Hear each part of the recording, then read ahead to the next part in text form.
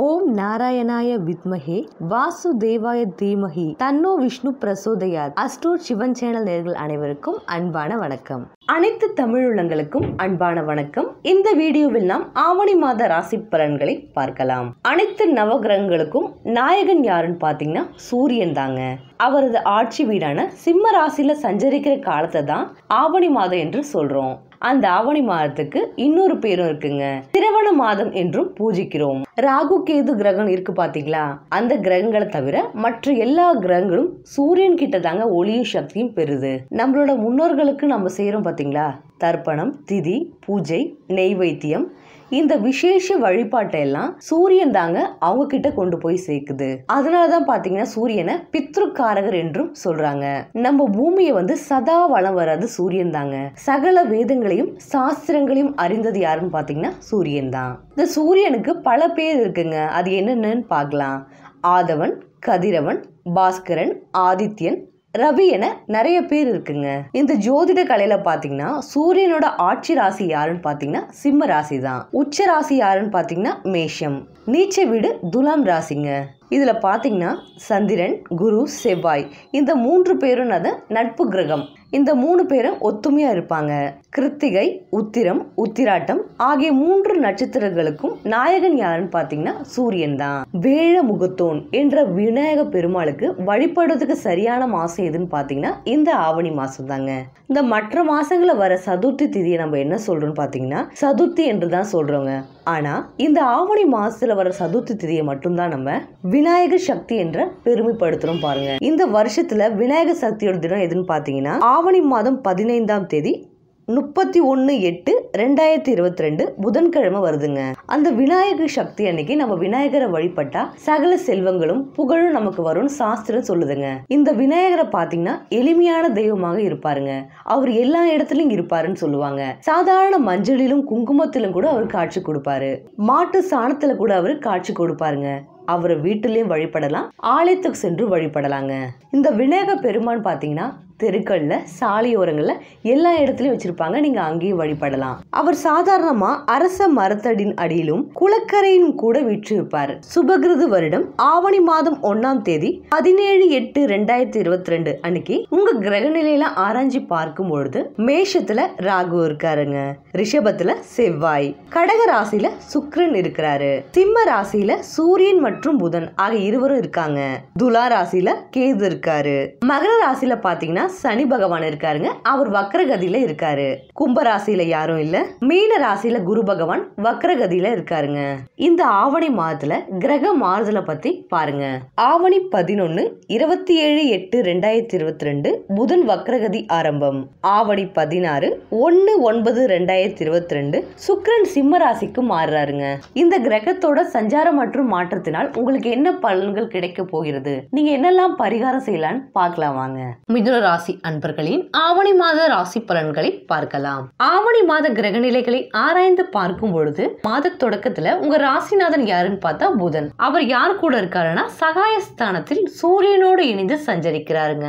அஷ்டமத்து சனி வக்கர இயக்கத்தில் இருப்பதால பொருளாதாரம் உங்களுக்கு திருப்தியா இருக்கும். உங்க ராசிக்கு மூன்றாம் இடத்திற்கு அதிபதி யாருன்னு பார்த்தா சூரியனுங்க. இவர் மாதம் முழுவதும் அங்கேயேதான் சஞ்சரிக்கிறாரு. எனவே தொட்ட காரியங்களில் உங்களுக்கு வெற்றி கிடைக்கும். தொல்லை தந்தவர்கள் தானாக விலகும் விலகுவார் தொழில் உத்தியோகம் சம்பந்தமாக எடுத்த முயற்சியில் அனுகூலம் கிடைக்கும். புதிய பொறுப்புகள் வந்திடையும். உத்தியோகத்தில் வேலைபடு குறையும். தொழில் பணியாளர்கள் இணைந்து செயல்படுவார்கள். ஆவணி எட்டாம் தேதி கன்னி ராசிக்கு செல்லும் புதன் அங்கு உச்சம் பெறுகிறாருங்க. உங்க ராசிக்கு அதிபதி உச்சம் பெறுவதால உங்களுக்கு நல்லதே நடக்குங்க. ஆரோக்கியம்லாம் சீரா இருக்கும். வாகன மாற்றம் செய்ய உகந்த நேரமாக இந்த நேரம் இருக்குங்க. கரைந்த சேமிப்புகளை ஈடுகட்டுவீர்கள். உத்தியோகத்தில் கேட்ட சலுகைகள் கிடைக்கும். ஆவணி பன்னிரெண்டாம் தேதி சிம்ம ராசிக்கு புதன் வக்கர இயக்கத்தில் செல்றாரு.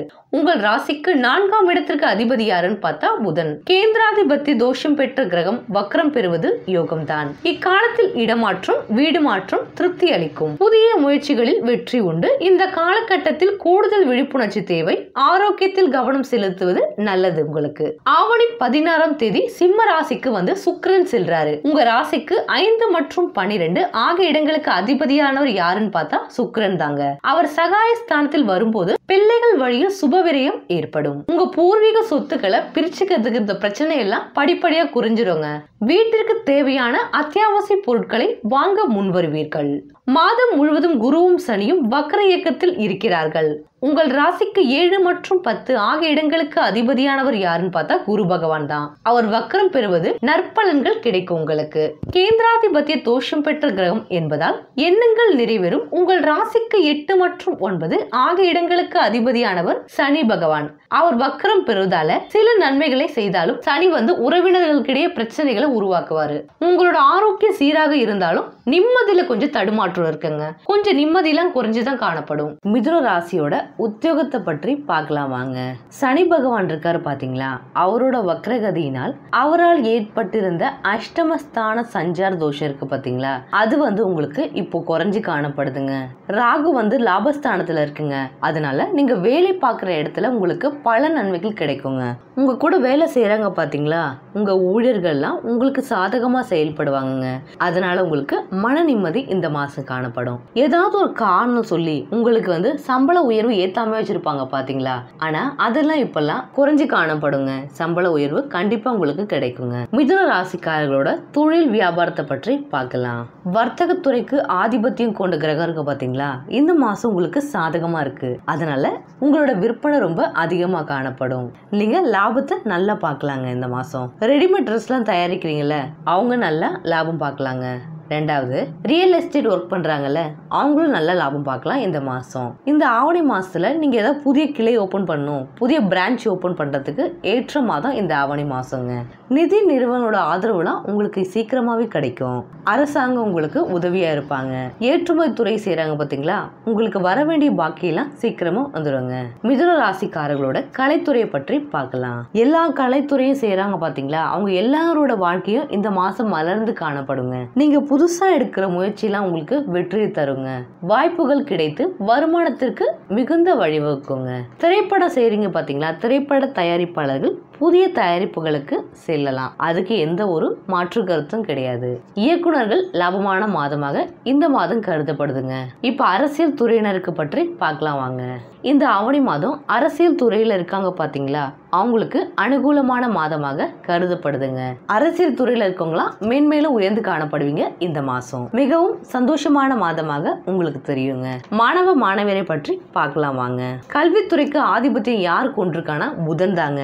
அந்த புதன் வந்து பலம் குறைஞ்சா கொஞ்சம் பிரச்சனையா தாங்க இருக்கும். ஆனா அவர் பலம் குறைஞ்சிருந்தாலும் வித்தியாஸ்தானம் வந்து கல்விக்கு உயர்ராசிங்க அது வந்து எவ்வித தோஷமும் இல்லாம உங்களுக்கு செயல்படுறதால கல்வியில உங்களுக்கு எந்த பிரச்சனையும் வராதுங்க. நல்லபடியாக நீங்க படிப்பீங்க. நீங்க உயர்கல்வி நீங்க எடுக்கிற குரூப் இருக்கு பாத்தீங்களா? அது உங்களுக்கு பிடிச்ச மாதிரியே இருக்கும். நல்லாவும் கிடைக்குங்க. நீங்க விருப்பப்பட்ட இடத்திற்கு சென்று வருவீர்கள். உதவி பணம் கிடைப்பதற்கும் வாய்ப்பு உங்களுக்கு அதிகமா இருக்குங்க.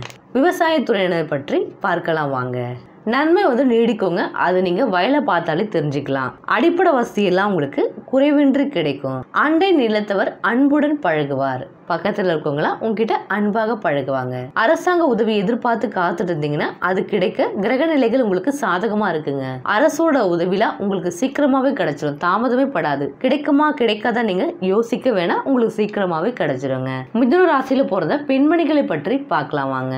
இந்த மாசம் உங்களுக்கு அஷ்டமத்து சனி இருக்குதுங்க. அது வக்கரம் பெற்றிருப்பதால் ஆரோக்கியம் சீரா இருக்கும். உங்களுக்கு ஆதாயம் தரும் தகவல்கள்லாம் நிறைய வருங்க. கணவன் மனைவிக்குள் பிணக்கு ஏற்படாமல் இருக்க விட்டு கொடுத்து செல்லுங்க. சொத்துக்கள்லாம் வாங்குற யோகம் இந்த மாசம் உங்களுக்கு அதிகமா இருக்கு. ஏதாவது ஒரு இடம் வாங்கணும்னு ஆசைப்படுவீங்க. அந்த யோகம் உங்களுக்கு இருக்குங்க. உங்க பிள்ளைகள் வழியில சுப காரியங்கள் ஒன்று நடக்குங்க. நீங்க எதிர்பார்க்கிறபடி உங்களுக்கு நடக்கும். வேலை செய்யற பெண்களுக்கு கேட்ட சலுகையெல்லாம் இந்த மாசம் உங்களுக்கு கிடைக்கும். ஏதாவது கவர்மெண்ட் வேலைக்கு ஏதாவது ட்ரை பண்ணிட்டு இருந்தீங்கன்னா உங்களுக்கு இந்த மாதம் குறைவில்லாம கிடைக்கும். மிதுன ராசிக்காரர்களே உங்களுக்கான பரிகாரத்தை பற்றி பார்க்கலாம். மிதுன ராசிக்காரர்களுக்கு பரிகாரம் என்னன்னு பாத்தீங்கன்னா வியாழக்கிழமை தோறும் குரு பகவானை வழிபட்டால் நன்மைகள் அதிகம் கிடைக்குங்க. அதிர்ஷ்டம் தரும் நாட்களை பற்றி பார்க்கலாம். ஆகஸ்ட் இருபத்தைந்து இருபத்தி ஆறு முப்பது முப்பத்தி ஒன்று செப்டம்பர் பத்து பதினொன்று பதினான்கு பதினைந்து. அதிர்ஷ்டம் தரும் வண்ணம் பச்சைங்க. இந்த வீடியோ உங்களுக்கு பிடிச்சிருந்தா லைக் பண்ணுங்க. உங்க நண்பர்களுக்கு ஷேர் பண்ணுங்க. மறக்காம சப்ஸ்கிரைப் பண்ணுங்க. பக்கத்தில் இருக்கிற பெல் ஐக்கானை கிளிக் பண்ணுங்க. மீண்டும் அடுத்த வீடியோவில் சந்திப்போம். நன்றி. வணக்கம்.